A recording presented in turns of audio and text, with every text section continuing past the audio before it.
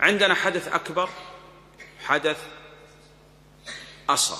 حدث أكبر يكون بالاغتسال وذكرنا أن الاغتسال عندنا اغتسال مستحب كامل واغتسال مجزئ.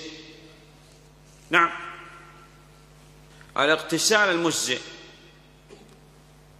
أن ينوي يسمي يعمم جميع البدن وما تحت الشعور الخفيفة والكثيفة مع المضمضة والاستنشاق.